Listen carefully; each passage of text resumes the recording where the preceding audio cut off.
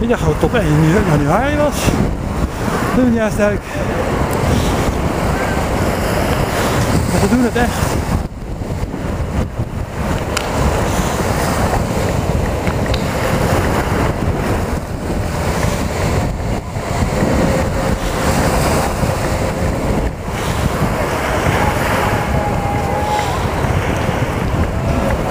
De helden staan langs de kant.